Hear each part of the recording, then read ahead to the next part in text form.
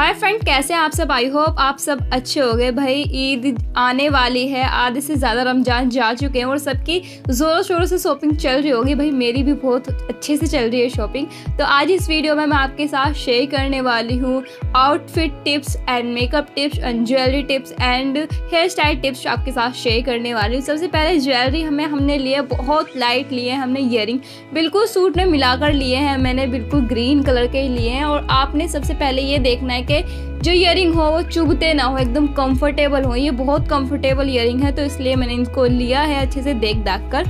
फिर आती है मेकअप की बात, भाई मेकअप हमने ऐसा करना है क्योंकि गर्मी है गर्मियों में मेकअप ज़्यादा नहीं करना क्योंकि मुझे मेकअप तो बहुत पसंद है, लेकिन मैं ज़्यादा मेकअप नहीं करती। मुझे मेकअप पसंद है, मगर मुझे लेयर पसंद नहीं है मेकअप की, जो अलग से दिखती है फेस पर, वो गंदी लगती है बहुत ज़्यादा।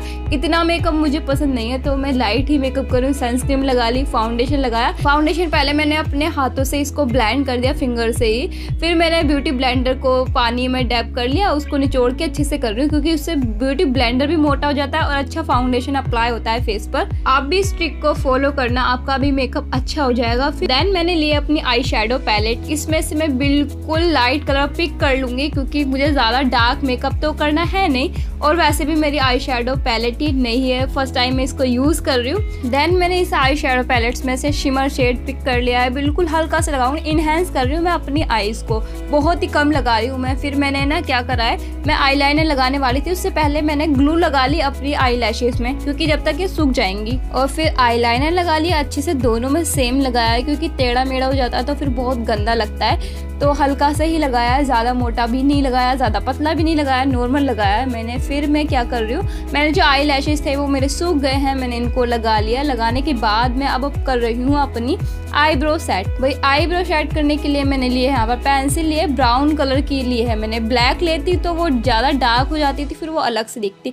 भाई, आप सोचोगे अब क्यों करते हैं आई शेड आईब्रो फिल क्यों करते हैं? भाई, ऐसा होता है। अगर आप अभी मेरे आईब्रो को देख लो और फिल होने के बाद देख लेना, आपको डिफरेंस अलग ही पता चल जाएगा। एकदम फेस पर अच्छा सा लुक आ जाता है। और फिर मैंने लिया अपना मशकारा ब्रश जितना भी एक्स्ट्रा प्रोडक्ट होगा ना, इसके साफ़ हो जाएगा, ज़्यादा नहीं लगने वाला। देन मैं अप्लाई कर रही हूँ ब्लश ब्लश में मैं ज़्यादा पैसे इन्वेस्ट नहीं करती हूँ। मैं लिपस्टिक लिया पिंक कलर की इसको ही लगा लूँगी इसको ही ब्लाइंड कर लूँगी। एकदम बढ़िया लगने वाली है। लॉन्ग लास्टिक भी रहेगी तो मैंने ज़्यादा इन्वेस्ट करती नहीं हूँ मैं ब्लश में ज़्यादातर। ऐसे ही लगा लेती हूँ मैं, क्योंकि ये ठीक लगता है मुझे। अब भाई, बारी आती है हमारी लिपस्टिक की। लिपस्टिक मैंने रेड कलर की ली है थोड़ी डार्क लगाऊँगी, क्योंकि मेरा सूट का कलर ऐसा है तो।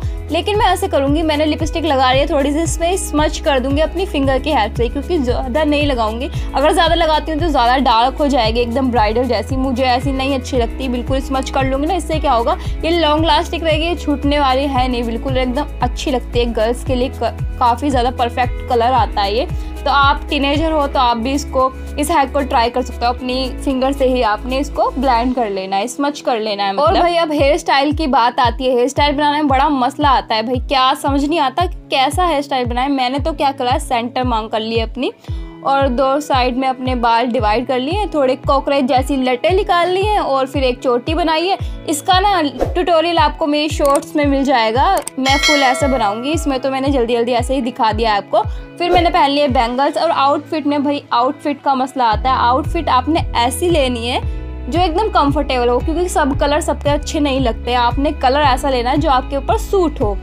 और आपने गर्मियों के हिसाब से ही आउटफिट लेनी है, क्योंकि बहुत ज़्यादा गर्मी है भाई। ईद पे बहुत ज़्यादा गर्मी होती है। वैसे भी कपड़े पहन के सोना ही होता है सबको। भाई, मैं तो सो ही जाती हूँ। तो आप सभी को ईद मुबारक एडवांस में।